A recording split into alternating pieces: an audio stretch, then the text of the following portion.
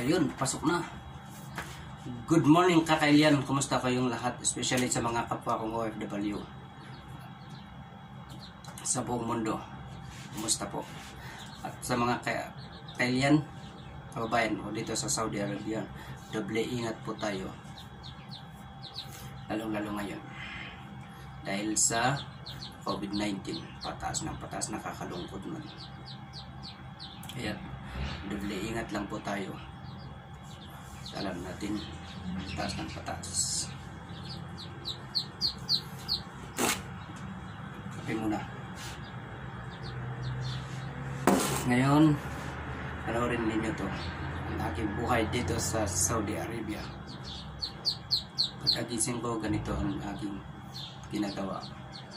Tara, let's go! Ito po ang aking ginagawa tuwing umaga. Magpakain ng mga duckling. Ayan. Ito po mga 3 days na lang. Galing sa hatching. Sa improvised incubator na ginawa ko dito. Tsaka mayroon namatay dito. Kailangan pa rin nilang init.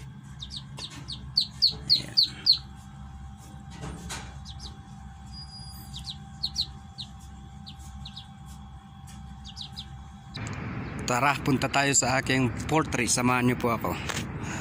Ayun po ang aking sasakyan. Ay, sasakyan pala ng amo ko. Yan ang aking trabaho. Karga ng gasolina, diesel. Yan. Punta tayo sa aking poultry. Ayan, dito sa Saudi. May mga kahoy dito kasi hindi siya masyadong deserto. Dating farm kasi yan kaya may mga kahoy. Tsaka uy, kitang kita yung ano? No doggy.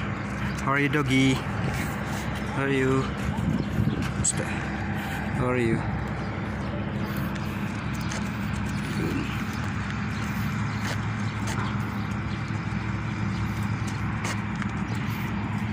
Dito sa Saudi man nang didiri mga Saudi sa ano sa mga, ibang lahi nang didiri sila sa mga aso. Samantalang pinapakain. Yan ang aking garden. Yan ang aking garden. May portrait ako dyan. Na ginawa. May tao na ibang lahi kumukuha ng gulay. Ang daming kanin, no? Tinatapon lang yan. Yan ang pinapakain ko sa mga bibi. Tsaka mais. Galing dun sa restaurant. Restaurant kasi yan. Mga Spanish yan eh.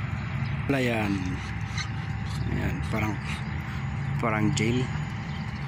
Ito. Ah, ito ang ginagawa ko tuwing umaga. Ayan, mga kalabasa, saluyot, at okra. May, may ibang lahi dun. Kumukuha siya. Free, for free. Kangkong. Meron din mga tawag dito. Ampalaya meron din. Tsaka malunggay. Ayan, mga malunggay. Yun. Aking garden. Ayun, ang mga alaga kong bibi. Pasukin natin para pakainin natin may mga sisiw din dyan. Tingnan nyo, nakalak pa. Ako lang pwedeng pakapasok dito. Ayan sila. Tapos pakainin natin ang mga bibi dito. Oh, may patay. Ba't ganun? Ano nangyari?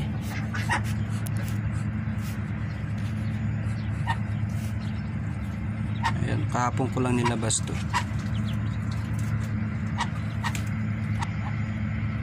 Ayan. Ayan ang aking alagang bibi. Ngayon magpakain na tayo.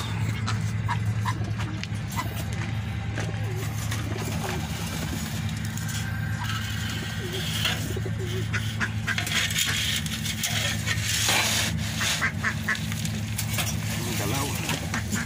Mais.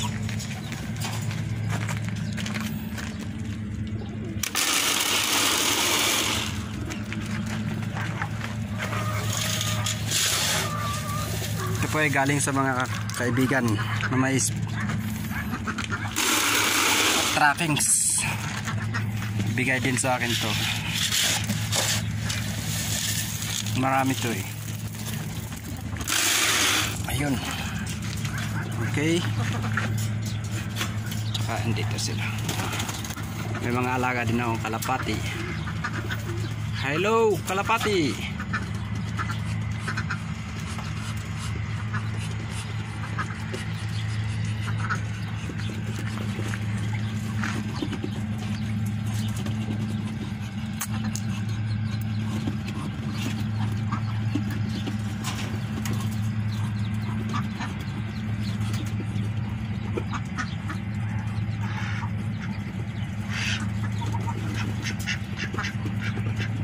mga alaga kong baby.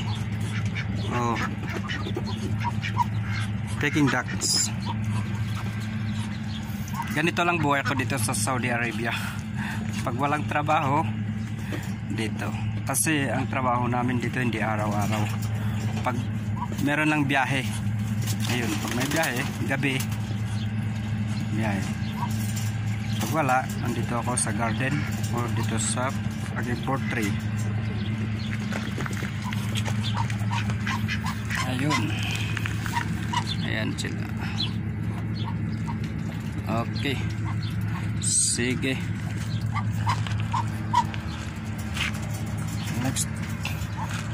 Panoorin nyo sa next video. Maraming salamat kabayan. And God bless po sa inyong lahat. Thank you so much